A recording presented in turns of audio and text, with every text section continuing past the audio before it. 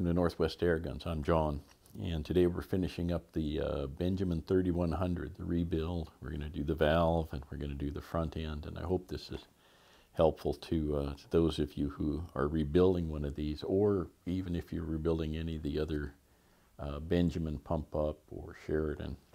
Uh, this might be helpful to you. Now, people have accused me of talking slow and using a lot of words, so my videos are really long. So this time we're cutting it down, we're using subtitles, and I don't talk that much, so some of you, I guess, will be happy about that. So in order to fill some of the gaps uh, in the video, I used uh, some music, and, and I'm a little bit in a dispute, I guess, you might say, with uh, YouTube. It used to have a library of free music that you could use and put it on, and it wasn't very good music, but it, it was free, and you could you know, kind of fill in spots in your videos. Um, and Final Cut Pro, which I used to have, it used to have a library too, and I, it's gone. I don't know what happened to that. But uh, so anyway, in order to not get in trouble with YouTube and using um, music that's licensed to somebody else, uh, I went ahead and, and dug out some old family tapes and, and put those in. So don't be too hard on me. That is my family. I love them and I'm in some of them. So um, anyway, I, I, hope it's not too uh, too much of a distraction from the video. But uh, anyway, let's get started on this 3100.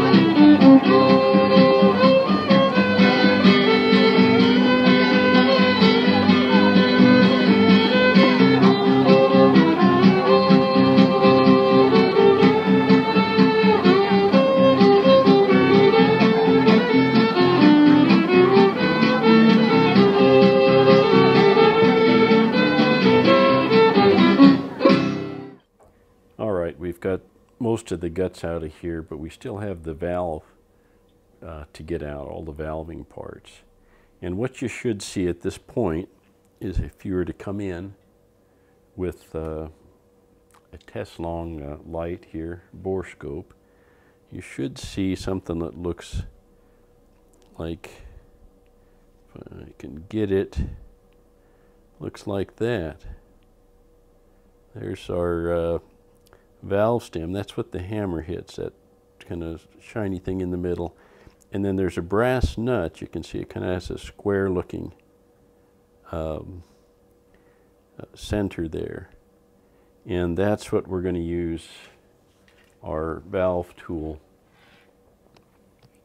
You can see it's got a square shape to it, fits into that nut, and we can unscrew it. So let's go ahead and get that going. Uh, this is to center it, uh, mainly for when you're putting it back, but also for when you're taking it apart. And some guys just wrap tape, um, you know, duct tape or some sort of tape so that it just barely fits into the tube. What you don't want to do is have it cockeyed while you're taking it out or putting it in. So we, there we got it. can feel that we're in. Put our screwdriver in place. There, broke free. Now we can get that out.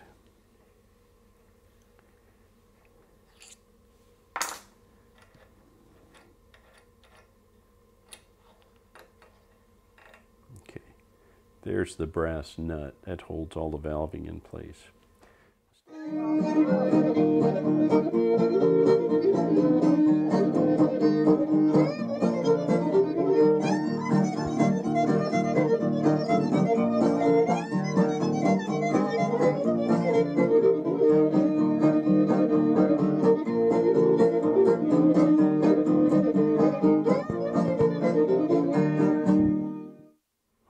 Here's all our valve parts and they come out uh, basically in this order.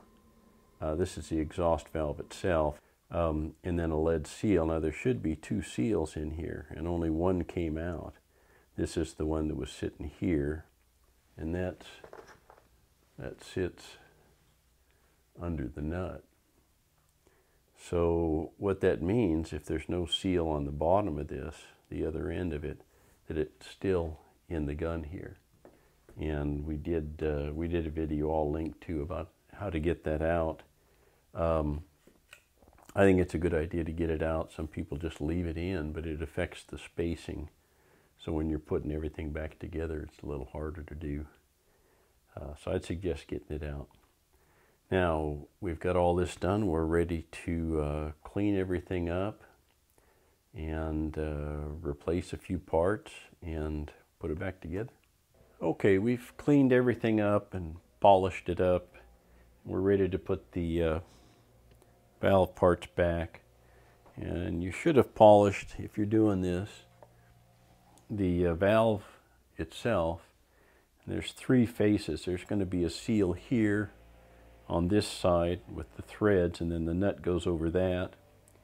And there's going to be a seal on this outer lip on the bottom and so that's got to be polished and then around this hole here where the exhaust valve stem goes that needs to be polished so this needs to be cleaned up shiny no nicks no gouges anything like that and then on the inside of the tube I'm just terrible at this okay you can see the threads in that first seat is where the exhaust valve is going to sit. And it should be shiny, should have no gouges, uh, you know, be pretty smooth. And then going further in, this next lip is the uh, where the washer sits between the uh, intake spring and the exhaust spring. And then you've got your uh, check valve seat down here and that looks pretty good too. Okay, uh, that's what it should look like. Now we can put this thing back together.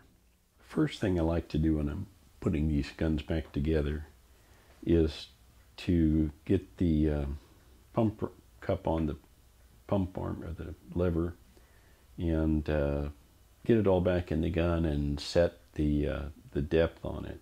Get rid of as much head space as we can. So that's what our next project is here. Get the pump cup on there.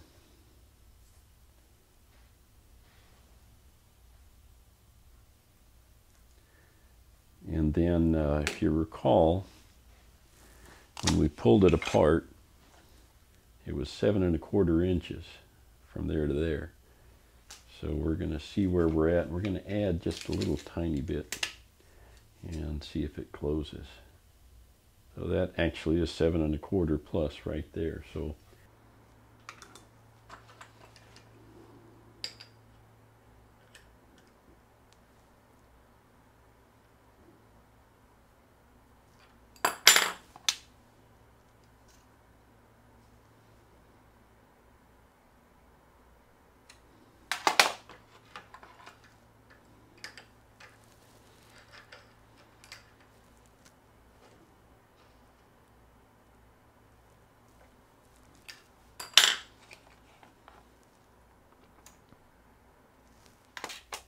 Okay, we want to make sure it all fits together well. And rather than put the end plug in and pound in these things, you know, if you do that too often, it starts to uh, uh, enlarge these holes just very slightly. And then your pins can start to spin and then they, everything wears out. It'll wear out the holes here in the end of the tube. So I test it just using a, a pin punch. And it's pretty close. If it doesn't close with the pin punch, then we'll back it off just a little bit. So let's uh, go ahead and get this going.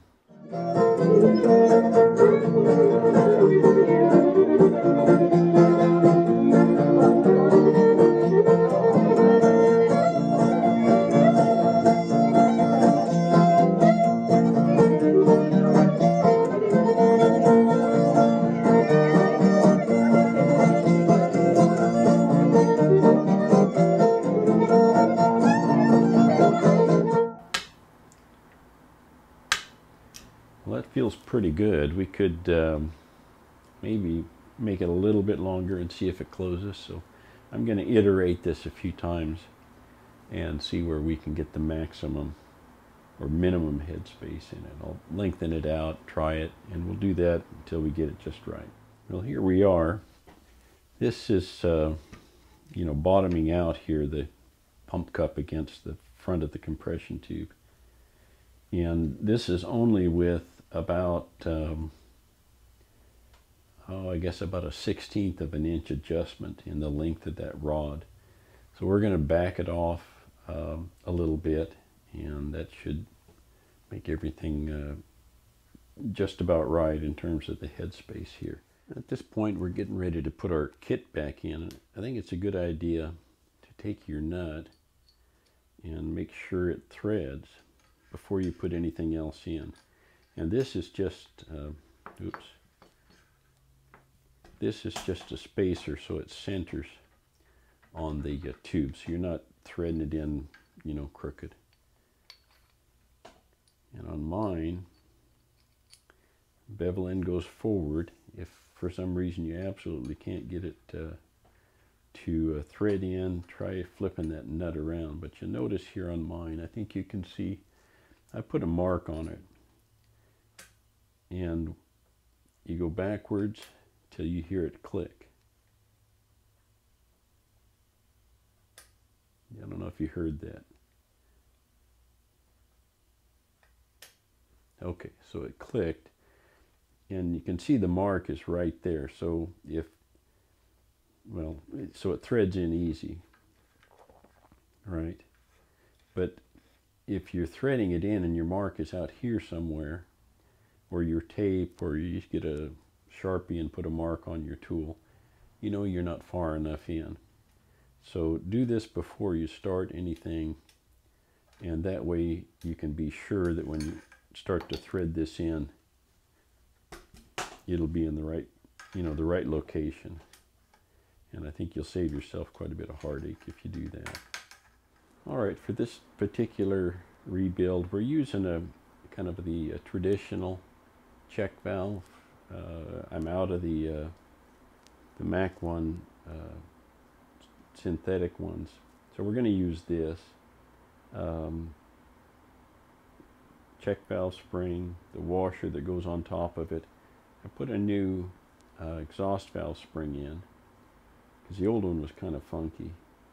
You know, they get all green and, and rusty looking. And we got a new uh, in, exhaust valve stem. This is one of the Mac 1 seals that goes on the bottom of the exhaust valve. Then another one goes on the top and then our nut. So let's put it together. The first thing we do is we're going to drop our check valve or intake valve down in and you should see brass. If you don't see brass then it's upside down. We got brass. Put in our spring. Sometimes they get cattywonker on you. There it goes. The washer washers in. Now we can put all this stuff in. In this particular case, it doesn't always happen this way. But spring fits on the end of that. This, like I say, it doesn't happen very often, but occasionally it does. So we'll put our seal here on this end. Get it on there. There we go. So that's on there like that.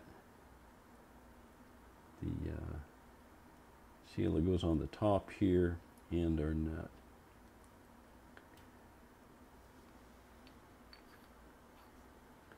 Fit the nut on the uh, tool and all of that goes inside.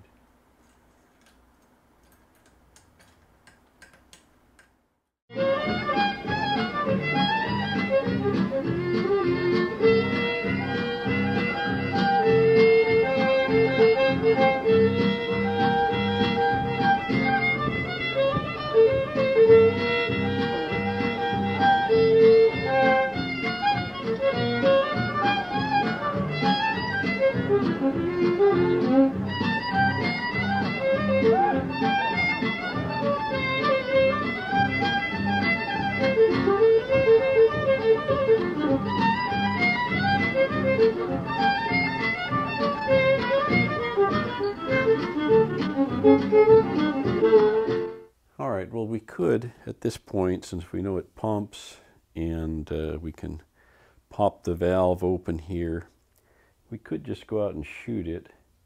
But I think um, it's a good practice to let it sit with eight pumps in it overnight and see if it's got air in it tomorrow because otherwise we're going to have to uh, pull it all apart and redo it and we don't want to have all the hammer and the hammer spring and end plug and trigger and all that on there don't want to have to redo that so we'll put it in the vise we're going to open it up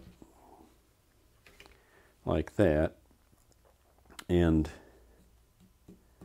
the um, if it is leaking, we'll find out tomorrow because it won't have air in it.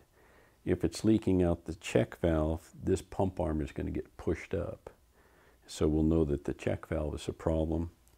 If the pump arm is, you know, stays like this, then that means if it's empty, that it's coming out the exhaust valve and we have to deal with that. So we're going to set it out here and let it just sit. You can put it in the corner, uh, wherever you want to put it. and wait till tomorrow and we'll see where we're at with it. Well, here we are the morning after. Uh, it's been sitting overnight. Pump arm looks good, so it doesn't look like we're leaking out the uh, check valves end of it. Let's see if we can get any air out of this, if it held overnight or not.